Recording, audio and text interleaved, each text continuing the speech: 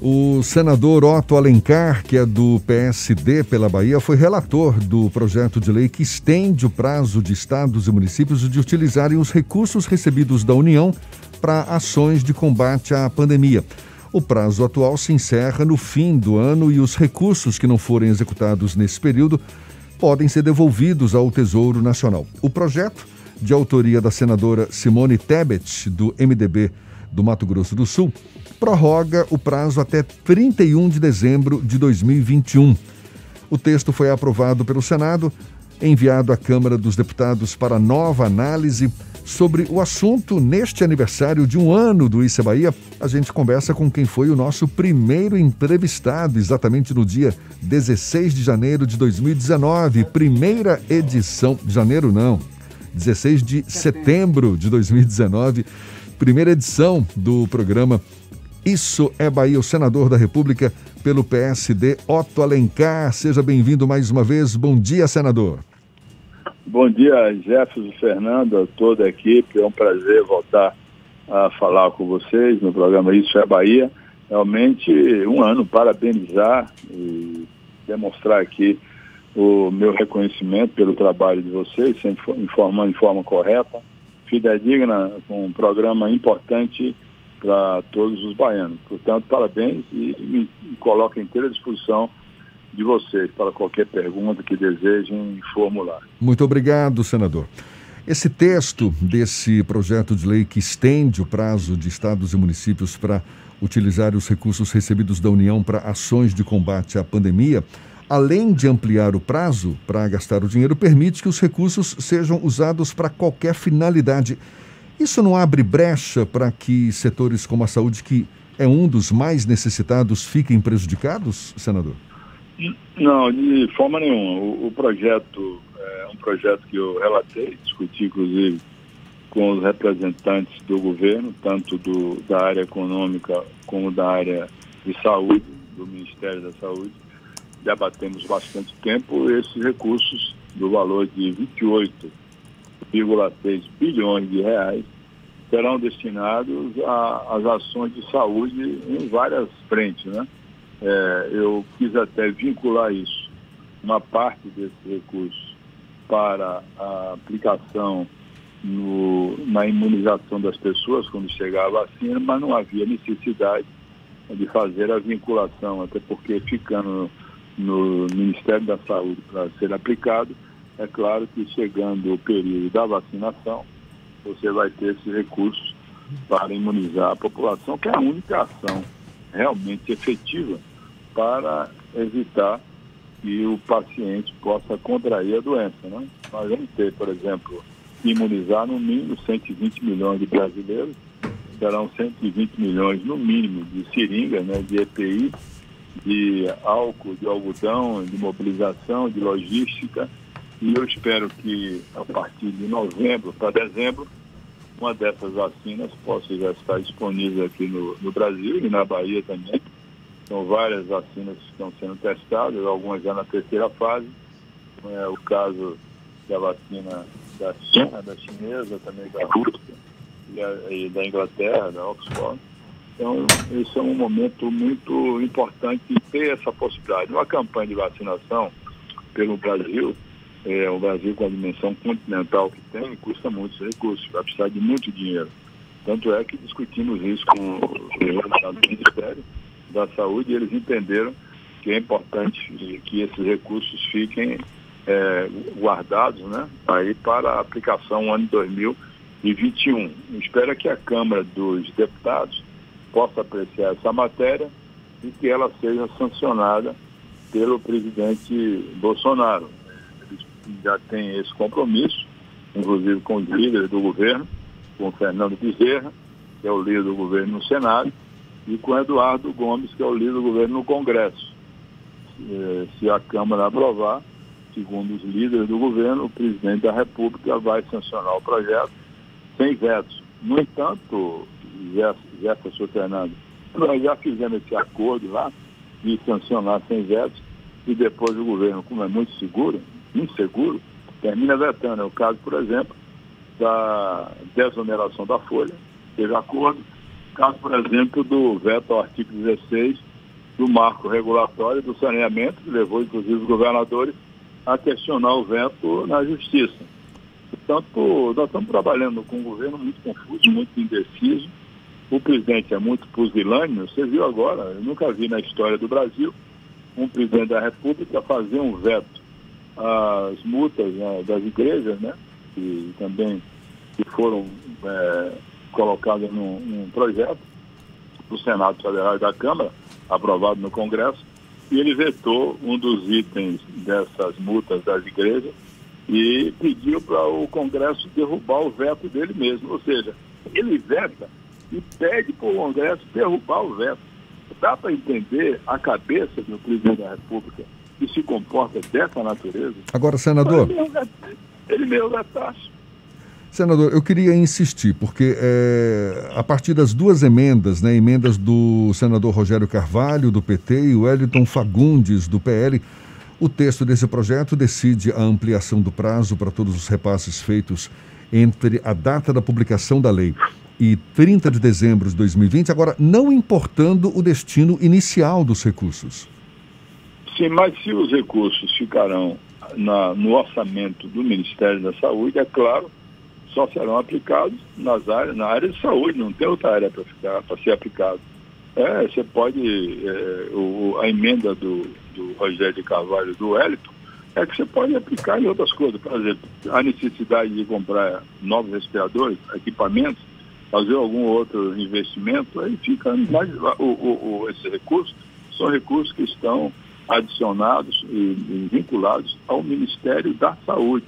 Esse recurso vem da onde, Jefferson?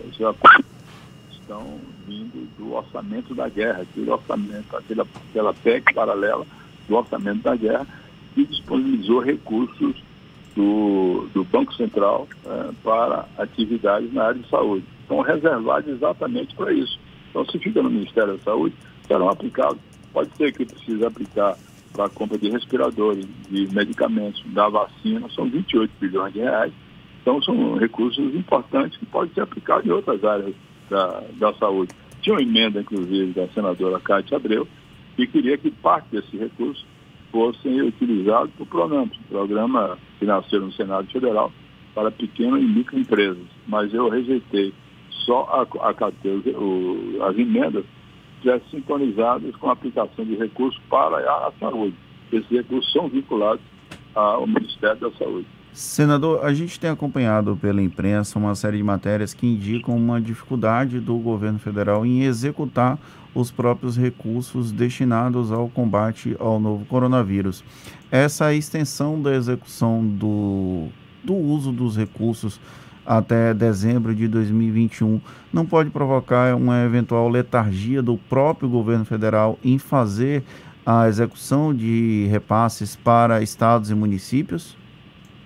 Não, acho que não. O, o, o ritmo do Ministério da Saúde foi estabelecido pelo próprio presidente Jair Bolsonaro e colocou à frente do Ministério o general Pazuello, que por mais que tenha se esforçado, eu, eu reconheço que ele trabalhou muito, fez um esforço muito grande, não sendo um, uma pessoa do setor, técnico do setor, não entendendo do Ministério, como ele mesmo disse que não entendia, ao ponto ele chegar a dizer uma aberração a respeito da doença do Covid, dizendo que os pacientes assintomáticos não, não transmitiram a doença, transmite a doença. Ele não conhece, ele se esforçou. Eu não sei porque o, o Bolsonaro demitiu o Mandetta, depois demitiu o Nelson, e ao contrário de botar um, um técnico do, que entende, seja da área de saúde, alguém que entenda mesmo das ações todas do Ministério, são amplas as ações, são ações múltiplas na área de saúde, colocou um, um general do Exército da área de intendência de logística para distribuir, veja só, só para distribuir os equipamentos e os medicamentos, demorou muito isso. E aí, além disso, se fixou na hidroxicloroquina, que é uma, um medicamento que não é cura da, da do Covid-19, está comprovado não é. Funciona diminuindo os efeitos anti-inflamatórios da doença, mas não cura a doença. Portanto, essa é a situação o, o Ministério da Saúde não teve um, um, trabalho eficiente, sintonizado com os estados, marcou muitos estados os governadores de oposição, como foi o caso da Bahia, como foi o caso do Ceará, que é do Partido dos Trabalhadores. estado de Pernambuco. E mandou para outros estados, o presidente é, atendeu, isso está provado e comprovado, com muita rapidez os estados dos governadores aliados, do Amapá, do, do Acre, do Mato Grosso, do Mato Grosso do Sul e Goiás. O primeiro lugar que ele foi em Goiás. O, o Caiado é, é aliado dele.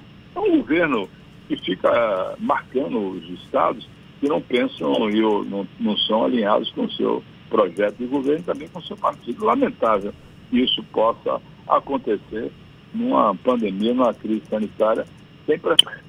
A verdade é que todos reconhecem que o Ministério da Saúde, quando o Pazuello foi, vários profissionais da área de saúde deixaram os cargos, pediram demissão dos cargos e passou a ser o Ministério um órgão apenas de logística, de distribuição e de repasse de recursos, de distribuição de respiradores, é, de equipamentos, de medicamentos, enfim, de EPI, essas coisas todas, de máscaras.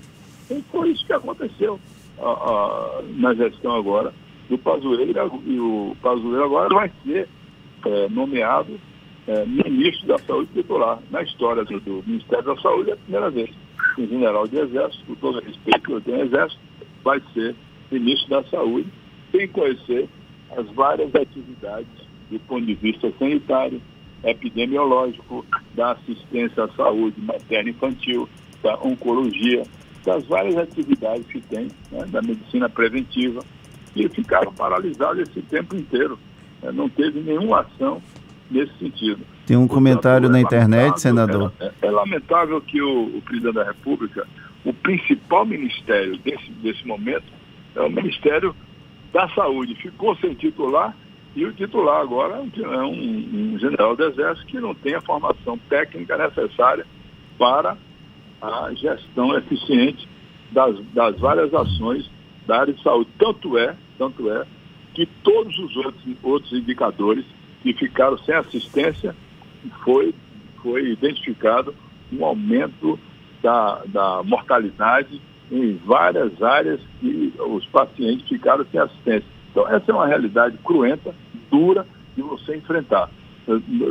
Se voltou tudo para o Covid, está certo, mas não podia deixar de dar assistência em outras áreas. Né? Sobretudo nas, nas pessoas com, com comorbidade, que pode levar a óbito, e esses óbitos aumentaram muito em outras, em outras doenças também tão graves como o coronavírus. Eduardo Pazuello é o primeiro ministro da história do Brasil a tomar posse por uso capião do cargo. Ele esteve muito tempo como intera, inter, interino e agora foi alçado à condição de titular.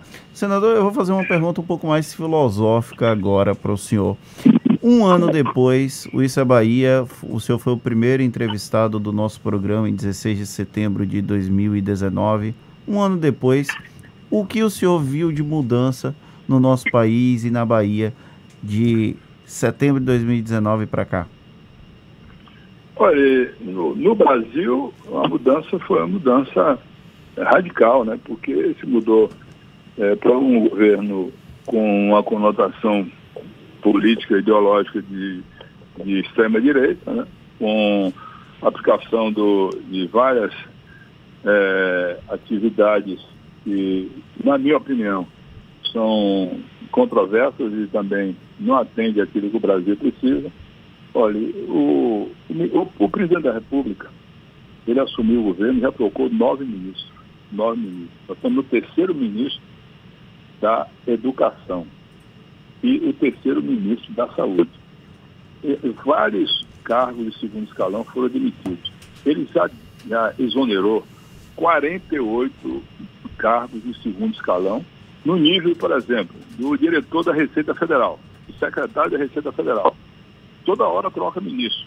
Então, é um governo que não tem estabilidade, um governo confuso, instável, pusilânime. Então, mudou, sim, mudou para um governo que fica sem um norte, não tem um norte o governo.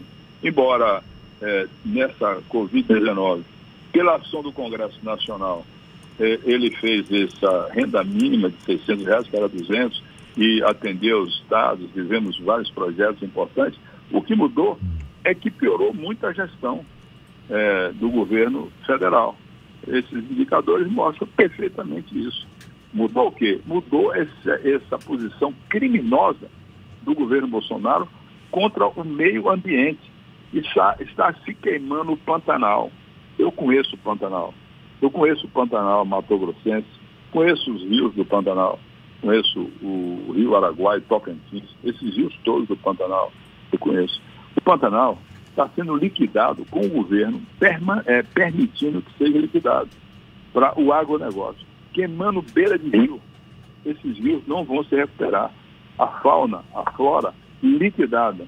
Um, um ministro do meio ambiente mudou sim e disse, deixa passar a boiada, deixa, queimar, deixa queimar a Amazônia, que é um crime ambiental sem precedente na história do, da floresta amazônica. Mudou muito. Mudou essa questão é, da, do investimento do presidente da República contra os seus aliados. O que é que mudou mais? Mudou que ele está é, aparelhando o governo com a área militar para querer intimidar as pessoas. Fez isso frente ao Supremo Tribunal Federal, quando seus seguidores foram lá fantasiados daquela seita radical dos Estados Unidos, a Ku Klux Klan, para intimidar o Supremo Tribunal Federal. Tentou intimidar a Câmara dos Deputados, o, o, o presidente Rodrigo Maia. O Senado tentou, não conseguiu. É um governo que tem, sim, um sentimento, através do seu presidente, de um espírito ditatorial, mas não conseguiu fazer isso. O sonho do presidente Bolsonaro é governar o Brasil numa forte, numa posição de ditadura. Só que não conseguiu. A democracia estabilizou tanto que conseguiu dar um freio nele, ao ponto de ele ter mudado o comportamento. Então, de um ano para cá, depois dessa entrevista, a nível nacional, mudou isso. Um governo radical, um governo que não ouve uh, o Congresso, não tem uh, conotação, não tem convivência amistosa, cordial, respeitosa com, com as pessoas e procurou impor a sua vontade. Então, essa é uma mudança aqui na Bahia. O governador Rio Costa continuou no mesmo ritmo. No Estado, o meu trabalho mudou as ações de saúde para dar assistência às pessoas que estão com problema na área de saúde do Covid-19, numa aliança com o atual prefeito, é, a Semi Neto. Trabalharam juntos, se uniram para combater a doença e fizeram um trabalho bom de ambos os lados. Então, aqui continuou mesmo o mesmo caso. O governo do Estado eficiente na sua gestão, muito bem avaliado, e o governo da capital também da mesma forma, unidos. Ou o governo federal, ninguém vai me, me convencer que o presidente da República tem se pautado dentro de uma posição de desenvolvimento econômico, social, de atendimento, de uma economia que possa estar crescendo. Sim, não tinha como crescer agora na crise sanitária. Não, a partir de março não tinha como crescer. Mas teve um ano de 2019 até março de 2020. Qual foi o crescimento do PIB? 0,4. Para você ter uma ideia, no último ano do governo Michel Temer, o PIB cresceu 1,5. No governo Bolsonaro, no primeiro ano de 2019, cresceu 0,4%. O PIB encolheu. Agora vai ter um recuo de 9%, 10%, por causa da pandemia. Todos os países tiveram isso. Senador. Mas não tem um, não tem um norte, não tem, no, do ponto de vista da economia, eu já conversei várias vezes, várias vezes com o ministro Paulo Guedes, que agora, inclusive, está numa posição de fragilidade muito grande. O, o presidente da República, Jefferson Fernando, já desautorizou, desautorizou o Paulo Guedes três vezes de público.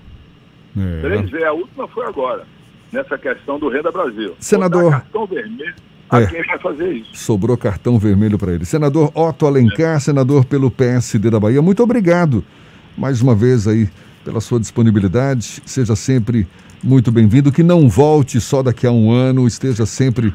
Não, é sempre às ordens. Conosco. Com a sua disposição. Tá certo. Tá bom, muito obrigado e um bom dia. Até uma próxima, então. Obrigado, um abraço a todos. É mais uma entrevista que vai estar disponível logo mais nos nossos canais no YouTube, Spotify, iTunes e Deezer, 8h51 na tarde FM.